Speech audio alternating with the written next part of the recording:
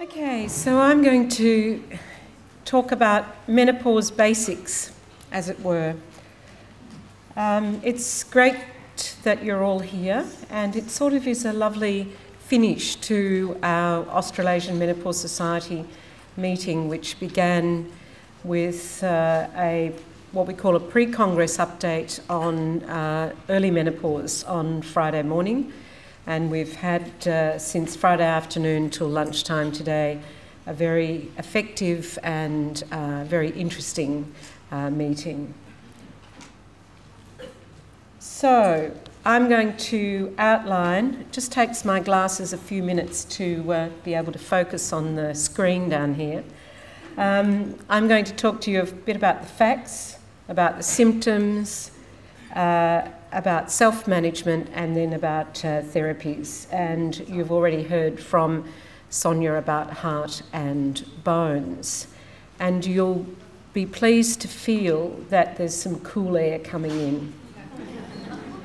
I've already uh, disrobed a little bit um, from the clothes that I had on when I came in this morning. I was here at 7:30 and it was still quite cool and I thought it was going to be a winter day because I really didn't check the, the weather forecast. So I'm all dolled up in my, my, my warm gear still. Now, let's look at menopause facts, symptoms, self-management. So we all know that uh, menopause for most of us is a natural life event. It happens uh, around the age of 51. And the definition of menopause is that it is our final menstrual period. That's the medical definition, the last period we have in our reproductive years.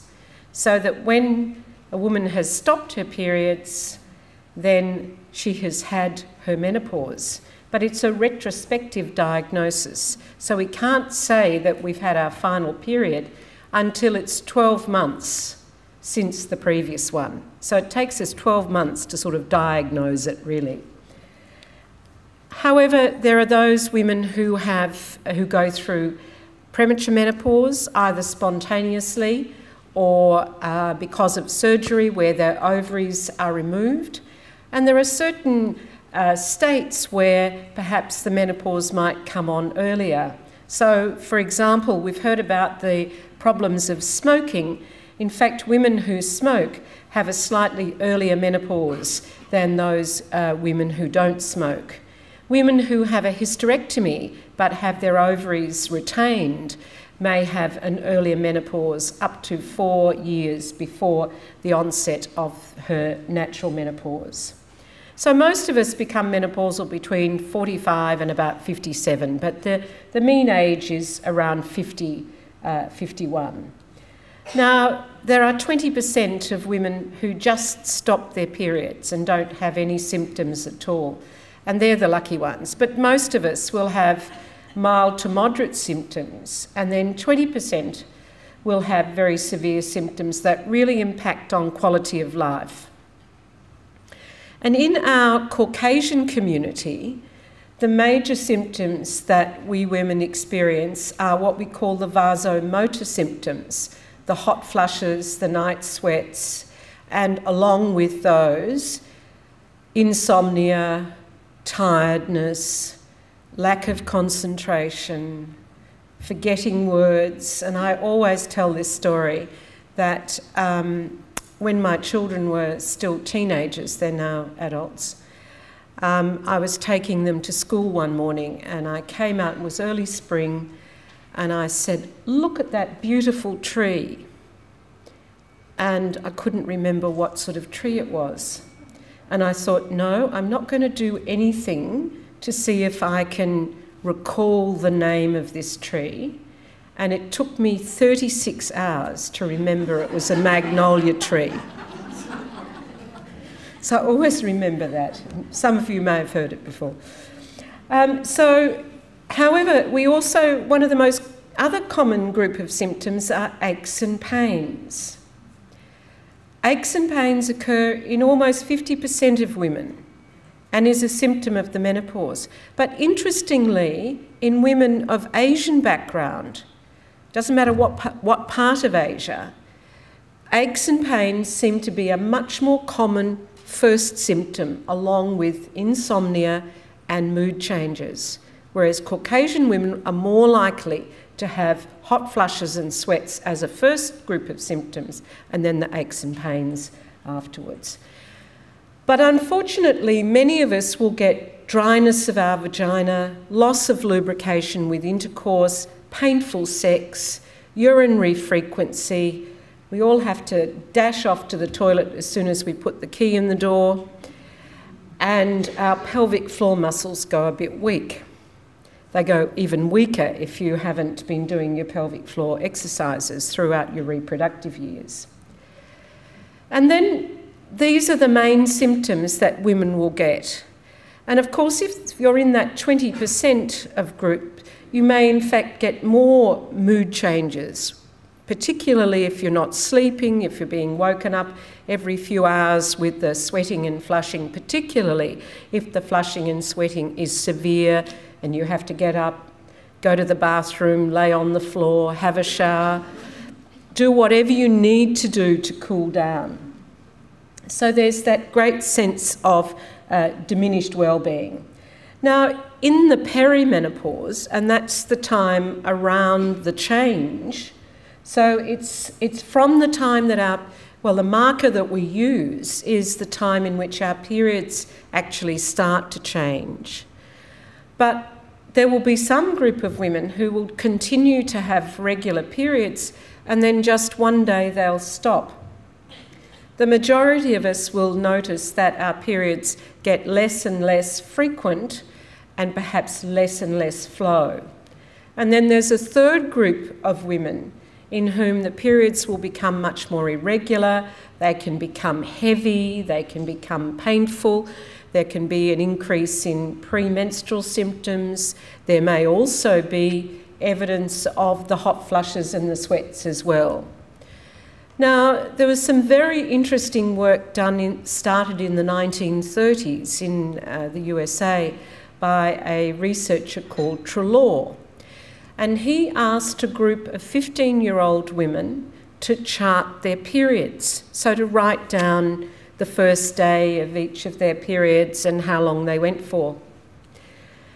And that research is still going on in the grandchildren of those original women. And what they found from that data was that they could see that irregular periods in the perimenopause were on an average for about four to six years before the final menstrual period. But the transition could be as short as one year and as long as 10 years. But most of us go through that time over about four to six years. I think in a lot of us, we don't actually realise that we're in that transitional phase. The only thing that we can notice is that we're actually at the right age. Now, we have focused uh, quite a bit uh, in our conference on uh, early menopause. And early menopause is very important obviously for the women who are experiencing early menopause, but it's also a very important diagnosis that doctors need to have in the back of their brains when young women come presenting to them with irregular periods or having stopped the periods or if the periods are coming infrequently. There are many other causes that can be for changing periods at a young age. But one of the things we have to keep in our heads as doctors is that early menopause is one of what we call the differential diagnoses. Early menopause is defined as the period stopping before the age of 45. Premature menopause is defined as the period stopping before the age of 40. That can happen spontaneously. Um, it can happen because of chemotherapy or uh, surgery. So, say for example, if a young woman has severe endometriosis, where the lining cells of the uterus grow at sites inside the pelvis, on the ovaries, on the tubes, on the lining of the uh, inside of the abdomen, the peritoneum. Some women will have such severe endometriosis, may have multiple surgical procedures, but still have chronic pain and sometimes will persist in having active and aggressively active endometriosis. And in those young women, they may end up having to have what we call a pelvic clearance. It sounds terrible, but it means to take out a woman's uterus and also her ovaries and tubes, which will render that young woman uh, menopausal. Now, women who go through an early menopause will have the same symptoms that women have when they go through menopause at the expected time, but often the symptoms are much more severe, particularly in those women who have a sudden onset of the menopause, like women who've had their ovaries out, or women who have certain types of chemotherapy where the periods will, the, the, the chemotherapy is quite toxic and so it will affect the ovaries fairly suddenly. Now, in women who go through early menopause, they need, unless there is a contraindication, hormone replacement therapy until they are 50. Because young women who go through early menopause are at risk of developing osteoporosis and heart disease at an earlier age than women who go through expected age of menopause. They are at increased risk of earlier onset of dementia, of cognitive impairment, and also, interestingly, of Parkinsonism. So, for young women, it is very important for them to have hormone therapy, just as if they'd become diabetic and required insulin, or if their thyroid gland became underactive, they would require thyroid hormone and insulin for the rest of their lives. With regards to the young women, we recommend it until the age of expected menopause. But that doesn't mean to say that, in fact, uh, the symptoms are going to disappear at that time, and that I've just said all that. So, I've talked all about that as well. The most important part of perimenopausal bleeding patterns are that we are now starting to see an increase in the rates of cancer of the lining of the uterus in the perimenopause. And there are two reasons for that. One is that during the perimenopause, we may not ovulate as regularly. And if women have more and more cycles that are anovulatory, that means that we don't have the balance of the estrogen and the progesterone. So, estrogen hormones are produced by the ovary throughout the cycle all the time.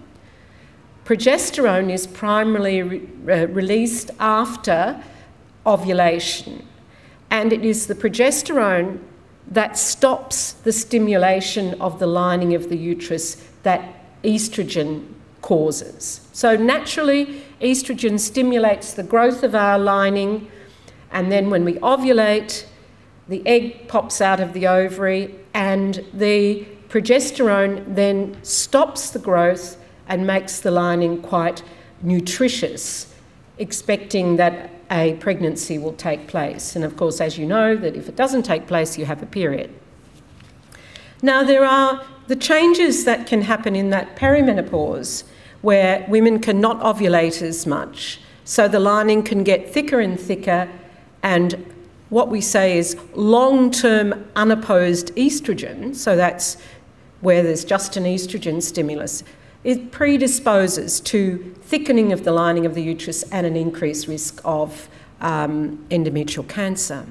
Along with our increasing rates of obesity and being overweight, that has added another factor to the increasing risk and incidence of endometrial cancer in our community.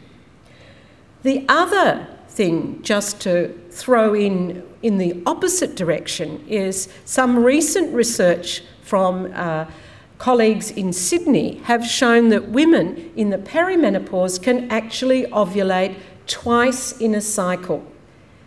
In the perimenopause, not at other times, but in the perimenopause. So a woman may ovulate naturally mid cycle and then two weeks later, when she's about to have her period, she may ovulate at the time of her period.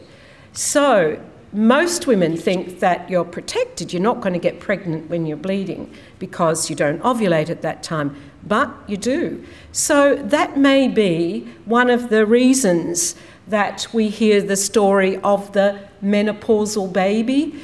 Uh, from uh, we talked about our mothers might have had a child in their late 40s or something, and they say, "Oh, it was a menopausal baby." That's probably the reason from that particular uh, work. So that means that women who are in the perimenopause still need contraception up until the age of menopause, that is 12 months past their final menstrual period, if they are over 50, but two years after their final menstrual period if they are under 50.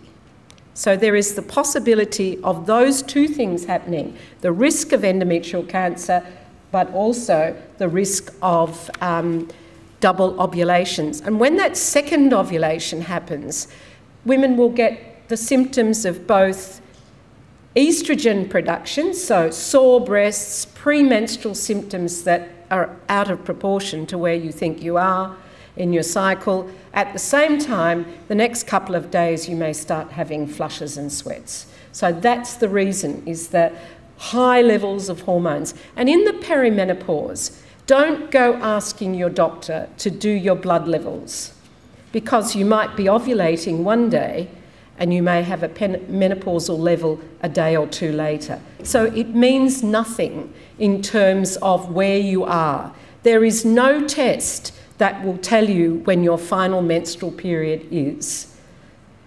Don't let anyone tell you there is, because there isn't. There we have a, a journey that we all take. Some people's journey, as we've heard, is truncated at different times. So, how do we manage ourselves? Well, you've heard from Sonia about being fit and healthy, and really that's what we should be focusing on. We should be focusing on our lifestyle, our exercise, and healthy eating, and not too much healthy eating. Um, when we go to congresses, it's always too much healthy eating. Um, but we did have a big birthday party last night because our society is 25 years old. and Sonia is our number one dancer. She's been watching all those dance programs and uh, we had a fantastic birthday party. So we have been trying to combine food and, and diet and exercise, and also using our brains, and that's really important for us.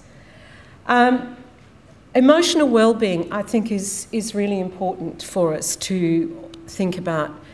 I am always in awe of the stress and the life circumstances that women live under and how they manage incredibly well. And I think that one of the things that we need to take a little bit of time out when we get to the menopausal age is actually to give ourselves a bit of a pat on the back and to take time for ourselves. And that means not being at everybody's beck and call. I always remember a patient many years ago. I can't remember the patient, but I remember her telling me that her mother used to have Friday morning off. And Friday morning was mum's morning. Nobody ever found out where mum went. and she died not telling anybody. So they never knew whether she was having an affair whether she was just going and sitting in a park or whether she went to a movie or, and nobody ever saw her. But Friday morning was mum's morning. What a sensible woman she was, and she was generations ahead of herself. So, time to yourself, even if it's just thinking time, but time that you turn your phone off, don't, don't trouble me, no phone calls, no computer, no nothing. Just have time to yourself. It might be going and having a cup of coffee with friends or a lunch or even just sitting in the park for half an hour or a couple of hours. But do take time for yourself. That is really, really, really important. And if you're having major menopausal symptoms, then you have to look at how they're impacting on your quality of life. You have to think about what your stresses and circumstances are and whether you really need to have any form of therapy. Some women will want to try across the counter therapies or alternative therapies um, or herbal remedies. Other women will uh, find that, in fact, the only thing that's going to work is hormone replacement therapy, particularly if they've got severe symptoms. But then there are those women who can't take hormones, and they may be then at a in a difficult uh, situation where we can't use hormones and we have to try other non hormonal prescriptive therapies. So, these are some of the self management strategies. You're here to learn and to hear about the menopause. That's the most important thing. Expectation is usually worse than experience in the main, and that once you have knowledge, and the fact that most of us don't have too difficult a time, but 20% of will have a difficult time, may help to ease some of the concern. And we always have to remember that everybody's experience is individual. What my experience has been is not what your experience will have been or is going to be. So, what do we do? We get a cooler environment. Thank you, Janet, for organising for the air conditioning to come on. Um, we may layer our clothes, take them off, make sure that we can strip and then put them back on again. Having a little facial spray in your handbag.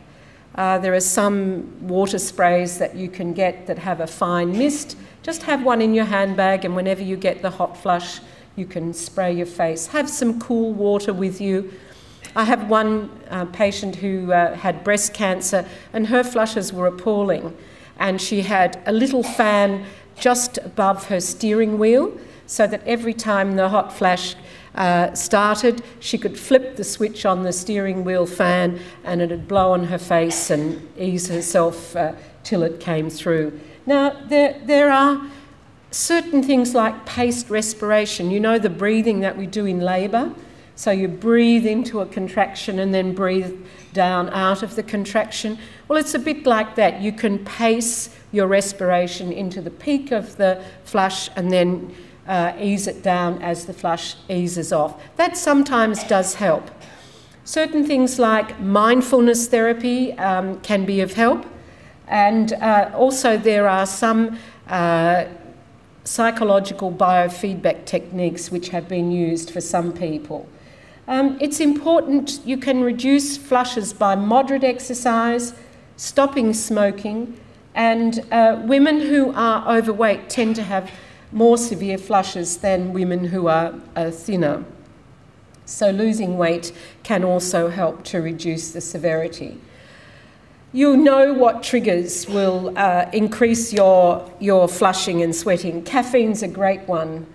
I find that always after a good cup of coffee you get a hot flush, and I think, oh, it's such a nice cup of coffee. But uh, alcohol is another great one. Anxiety is probably one of the, the most. Uh, uh, one of the best triggers for a hot flush, particularly when you're um, wanting to appear calm, cool, and collected, um, and uh, suddenly you get really hot and sweaty, and your pulse rate goes up, and you get quite anxious, and you forget what you're going to say. So, reducing caffeine and alcohol is very important, and acupuncture is one of the latest. Uh, areas that is being researched at the moment. And um, our uh, Jean Hailes research unit is involved with a study on acupuncture and hot flushes. So that's going to be interesting what those results are. At the present moment, most of the studies are quite mixed in their results. Some women find it helpful, but some women don't find it helpful at all. Now, when we look at the prescriptive therapies, it really becomes an informed decision. But it should be an informed decision about whether it's a prescriptive therapy or it's an across the counter product. And most of the stuff that you hear doesn't actually have any scientific proof. And there's one discussion we had during one of our sessions was about the placebo response. So it doesn't matter what you take, a certain percentage of women will have a significant reduction in their symptoms, and that's across the board, not just for flushing and sweating. It can happen across the board in many, many medical conditions. So maybe a lot of the cross the counter products actually are more a placebo effect than actually a pharmaceutical or pharmacological effect. In other words, to do what with what the actions of the uh, herbs or remedies actually do. So we need to, you need to know about whether it's prescriptive or non-prescriptive. Some of the medications that we use in the perimenopause can be the pill, a low dose pill in women who are fit and healthy with no cardiovascular risk factors such as high blood pressure, smoking, um, being overweight, having a very strong family history of uh, heart attack or stroke uh, under the age of 50. The best uh, and then we, we can also use other medications with some of the estrogens that we have in, uh, for hormone therapy uh, with one of the IUDs, the Mirena IUD. Some of you may have, have them or have experienced them or know about them. Uh, that's an IUD that releases a very low dose of progestin and it acts as the progesterone or progestin to protect the lining uh, with taking the estrogen. Now, hormone therapy has been studied since the 1970s with what we call placebo controlled studies, and they are randomized controlled trials. The biggest one you all heard about 10 years ago, and in fact, it was a study not looking at women who had symptoms and not looking at women who were around the age of menopause. Sonia presented data from a new study which has yet to be published but was presented at the recent North American Menopause Society, showing in fact that there was no increase in uh, the cardiovascular risks uh, or cancer risks after four years. Is that correct? So that's great news for those of us who are in the menopausal years and still symptomatic. Then there are those women who don't, uh, who are not able to take hormone therapy or don't choose to. There are some prescriptive therapies that we use. There are a group of the antidepressants which has been found to reduce flushing and sweating. Uh, there is one of the um, blood pressure medications, clonidine, it's been around for a long time. When I first uh, was involved in setting up the clinic uh, at Queen, the old Queen Vic Hospital uh, in uh, Lonsdale Street, the first line choice we had was a very low dose of clonidine, which has now gone off the market. And the third group of medications that we've been using um, is, in fact, gabapentin. And gabapentin is a medication for epilepsy or chronic pain, and that has also been shown to be effective in reducing uh, flushing and sweating. So they're the group, they're the broad group of medications which we use as prescriptive therapies. Now, estrogen will alleviate the symptoms. So, estrogen is for the flushing and sweating, for the dry vagina, uh, for bones, and the progestogen is primarily to protect the uterus. However, Sonia also presented a report of a study using high dose um, natural progesterone orally and a reduction in flushing and sweating, but we don't have that medication available uh, in Australia. So we know that, um, oh, I'm getting the five minute that's, that's a bit, I've talked too long. Every time we do these talks, I always go over time. And um, so you'll bear with me, I'll try and be very quick. Um, we know that HRT is really the medication for flushing and sweating in women who are fit and healthy with low risk.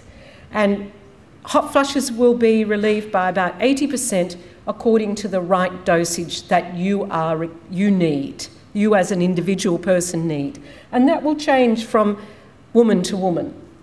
We know that it improves night sweats. So if you're not waking up at night, your sleeping's going to be better, your mood's going to be better, your aches and pains are going to be better. Uh, there is a, from the WHI study 10 years ago, they showed that there was a small reduction in bowel cancer and definitely a reduction also in hip fractures. That's the sort of marker for whether a medication works in osteoporosis. Now, this was the first time that a study had ever shown that you could reduce fracture rates. We knew that hormones therapy would maintain bone density, but we didn't have the data about uh, the fractures.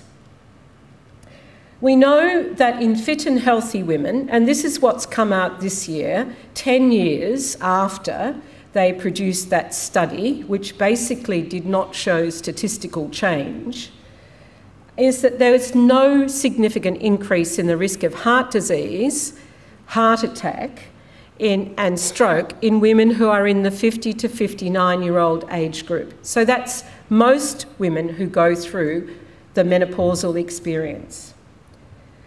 There was no significant increase in the risk of breast cancer in those women on hormone therapy of estrogen and progesterone under five years. And in fact, in those women on estrogen, there was no increase in the risk of breast cancer after seven years, and 10 years down the track, in those women who were on estrogen alone, there has been shown to be a statistically significant reduction in the risk of breast cancer in that particular group of women. And that was published this year, uh, yes, this year. We know that with any hormone therapy, it doesn't matter whether it's the pill, whether it's HRT, what it is. There is a small, in pregnancy, there is a small increase in risk in thrombosis. So one extra case per 10,000 women per year. It's higher if you're overweight and it's higher if you're older. So once you hit 60, all of the risks of cardiovascular disease, stroke, high blood pressure, cholesterol, um, osteoporosis, thrombosis, you name it, it all goes up, unfortunately. And that's a passage of time. It's got nothing to do with hormones. And we know with one of the side effects of, of combined estrogen and progesterone can in fact be spotting or bleeding, which usually can be um, improved. This is the estrogen only study. Now, that was published in 2004, and I bet most of you never heard about it. All you heard about the one was the one in 2002, and um, the fact that uh, they, um, they didn't publish that um, uh, data. Uh, in, the media didn't pick it up because, in fact, um, it was a good news story. So that showed no increase in, in uh, breast cancer by the end of seven years. There was no increase in heart disease in that group of women. All of these women had had hysterectomies, that's why they were in the estrogen alone group. And there was a small increase in the risk of thrombosis and stroke. Tibolone, I don't know if any of you know of Livial, but Tibolone is a synthetic therapy. It's been around since the 1980s in Europe and uh, um, the UK. It's a one stop shop. It has the actions, but is none of them, of estrogen, progesterone, and testosterone. Um, so it works a bit like each of those. It's good on uh, menopausal symptoms. It doesn't seem to stimulate breast cells as much. It has a different method of action to standard estrogen and progesterone. It combines another number of different types of action in the body. It's a bit sort of magical, isn't it, really? Um, but what it does do is that there's a particular protein in the body called sex hormone binding globulin. And a lot of, um, a lot of hormones tack onto that, but the one that we're interested in that tacks onto SHBG is testosterone. And remember that testosterone is the third female hormone. It's the first male, but the third female. And so Livial, what Livial does, or Tibolone, is that it reduces SHBG, so it allows more testosterone to flo float around in the system. And that may be one of the reasons why it does improve libido and mood in some women. It has uh, a significantly lower risk of thrombosis, um, and there's been no obvious increase in heart disease and stroke in younger women. So testosterone well, we have the queen of testosterone here with us, Sonia. Um, she's done so much research on testosterone, so any questions you have about testosterone, you can um, direct them to Sonia. But basically, there is no testosterone that has been uh, approved by the TGA in Australia, and we don't know what the long term risks of women are. Uh, for women uh, in the long term, so uh, maybe Sonia can help us with that. And the work that Sonia was involved with um, showed that it didn't matter whether you you had normal or uh, high or low testosterone, it didn't necessarily equate to your libido. And um, so, loss of libido is multifactorial in women and not just related to testosterone, except perhaps in those women who've had their ovaries out. Now, I don't know if any of you uh, are on or know about bioidentical hormones which are compounded. Um, now, what that means is that these are prescriptions written by a doctor taken to a pharmacy that is compounded and made up from uh, basic biological uh, products, uh, the different types of biological estrogens, progesterone, and testosterone. They're not approved of by Canberra, they have not been TGA approved. There is no safety and efficacy data on it. They are not safer, and there are some people out there that we heard at our conference who have been prescribing these to women with breast cancer.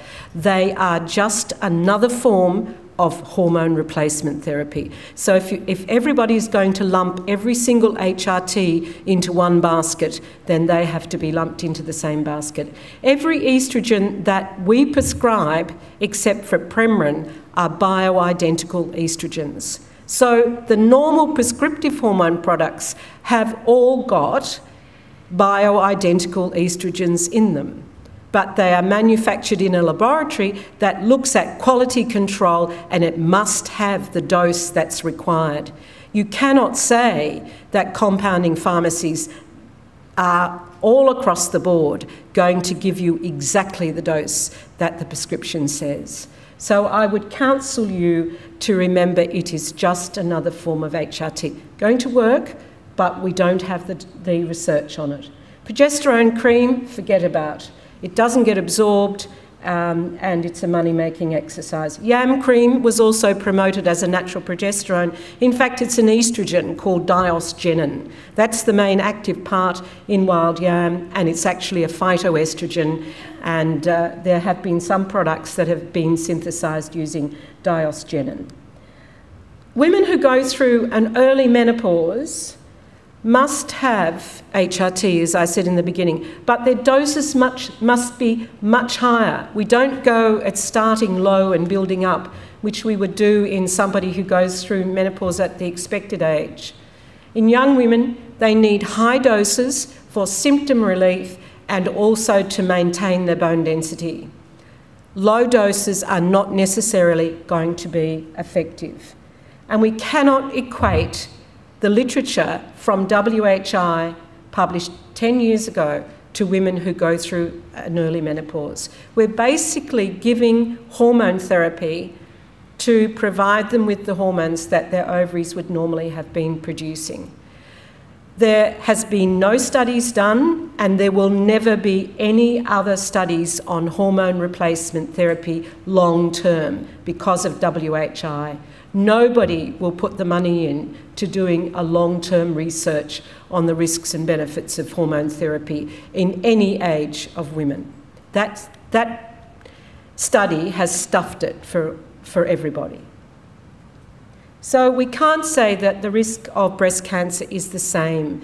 We expect that the risk of breast cancer in women who go through early menopause equates to those of her, her age group. So, deciding about hormone therapy is an individual decision. You need to know about the treatment options. You need to know the benefits and the risk in your individual uh, situation, so what your risk factors are, uh, what your family history is, what your symptoms are like, what your whole circumstances are, and how they're going to impact on your experience. Find out what's suitable for you how it can be given, all of the things that I've just been talking about. Now, one of the things I haven't said is that 10% of us are going to have symptoms for more than 10 years. So, all of the stuff that came out 10 years ago, where you should be on the lowest dose for the shortest period of time, are not over five years. In fact, the average time that women will have symptoms for, looking at the research done in this city, is eight years. That's the mean time that women will have symptoms for. So five years is there'll be a whole percentage of women who over after five years are still going to be symptomatic. So are we meant to go on and suffer our symptoms in silence? The answer is no. No one can tell you how long you need to be on it. It's as long as you're prepared to take it. So, how long should I use it? I've gone through all of those. We've talked about complementary therapies please, if you're on across the counter products, no matter what it is, whether it's a vitamin, a mineral, a herb, tell your GP. Because there are certain herbs that interact with prescriptive therapies, such as St John's wort and being on an antidepressant, being on certain ginsengs and taking blood pressure medications. So I've talked about most of those. So when should you, a woman, seek help? When you feel your symptoms are troubling you. And what will trouble one woman and the severity of it is not what another woman will be troubled by. Ask your advice from your GP, your women's health clinic, your women's health nurse. Um, we have a clinic at uh, Jean Hailes uh, at Clayton uh, where we have a group of general practitioners uh, who are women's health trained, and then there are a group of consultants like myself and Sonia um, who also work in the area. We have a pelvic floor physiotherapist who's brilliant. We do have uh, naturopath Sandra who's going to be on the webcast. Uh, and we have dietitians, psychologists, um, and we have a great group of people out there. So if, uh, if you're not getting uh, um, help from the people that you think should be helping you, please come and visit one of our GPs. So, diary your symptoms, and if you're going on the website, um, if you, for example, put on Australasian Menopause Society, the thing that will come up above it is an ad for the Menopause, Australian Menopause Institute or something. Don't even go there. Please. Um, don't. And if you're worried, get a second opinion. Thank you very much.